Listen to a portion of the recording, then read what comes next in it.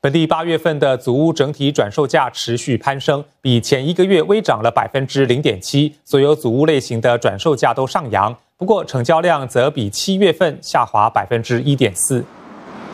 新加坡房地产联合交易网 SRX 的数据显示，三房式和公寓式祖屋单位的转售价涨幅最大，都达到百分之零点八；四房式单位和五房式单位的涨幅则分别是百分之零点六和百分之零点一。